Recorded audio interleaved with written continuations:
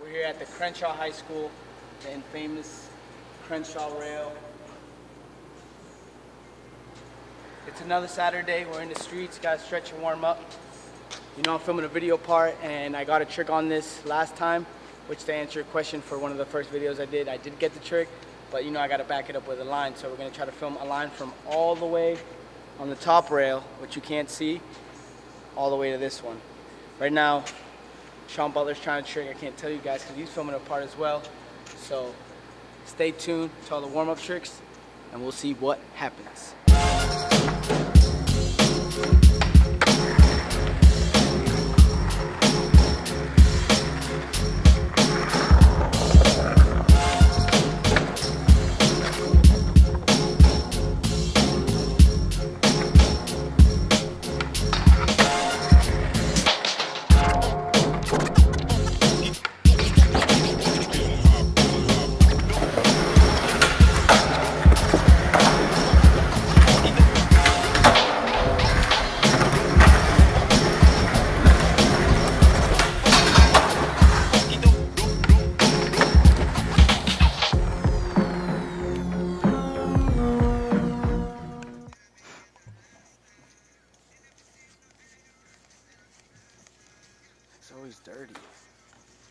All right, so today, because I'm sick of filming myself all the time, doing these videos, we got Richard. We got him filming. I'm gonna test him out and see, pause, pause, and see, and see if he can film me go from that rail to the bottom rail. And I think he has zero experience with the filming. So, don't blow it, Richard.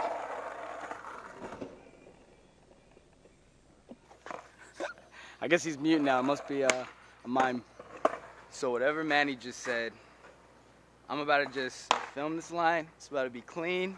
He don't think I know what I'm doing. But watch. It's about to be on point. You ready? Cause I'm gonna do it. I'm gonna handle it. You ready to handle it? Are you ready? I'm ready. Watch. Got the angles.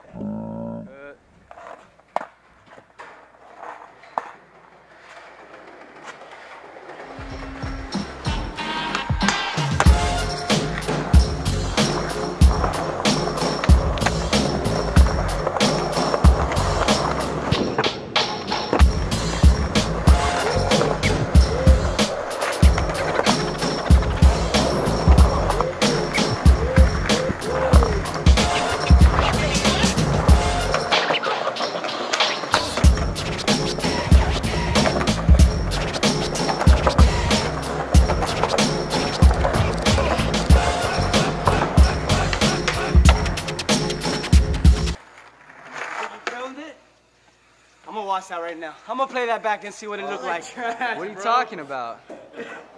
You filmed you filmed that like trash. That was on point.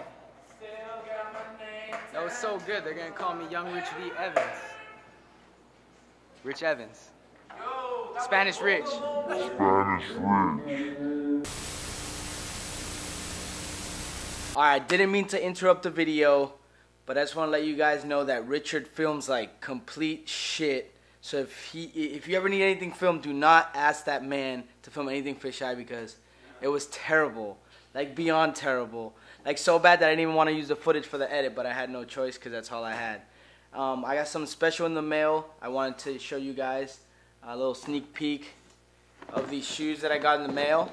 Uh, my homie Carlos Adams started a boxing shoe company a while ago, and it was based off a simple idea because he loved boxing that he wanted to create the best boxing shoes in the world. And to be honest, so far from a lot of pro boxers who have boxed in them, they all say they're the best shoes they've ever worn. So that's to let you know that if you have an idea, just because there's big companies out there or there's naysayers or there's non-believers doesn't mean you can't accomplish your goal. So congratulations to Carlos for making the dopest boxing shoes. I actually have a couple pairs. But in this box, I've been waiting for these shoes for three months. So he branched out and he started Adams Footwear, which will include uh, running shoes, lifestyle shoes, boxing shoes, um, maybe one day a skate shoe, but you never know. But I want to show you guys the first look into these shoes. And I can't wait because I've been a part of this for a while now. And finally, I get my own pair. With this first model, it's called the the AR1, which is Adams Running One, and you get a certificate that lets you know, you know, like authenticity. Thank you for supporting the release of Adams Footwear. Has a date, and here they are. These things are they actually weigh absolutely nothing. Literally, they weigh nothing.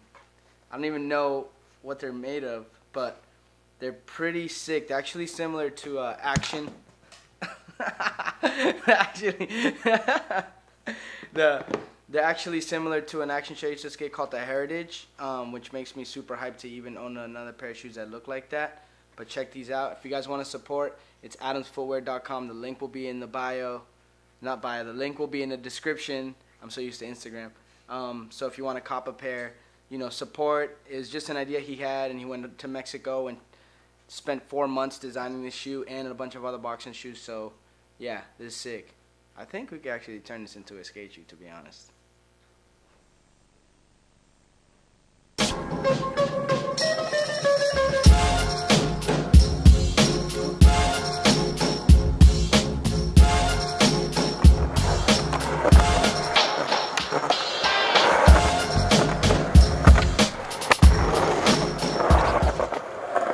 So things don't always work this plan. We got to this spot and my foot hurt, the vibes were wrong, so we decided to keep moving. Now we're at USC at this famous spot and Shawn, that's how he warms up.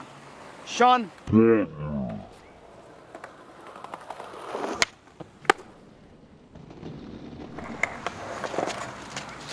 What are you doing, Lewis? It's fucking nasty, cleaning up the spot. So you're being a good Samaritan? Yeah, Wait, question, are you cleaning it so it looks good in the photo? Or are you cleaning it so uh, because you're a good human being? For the photo.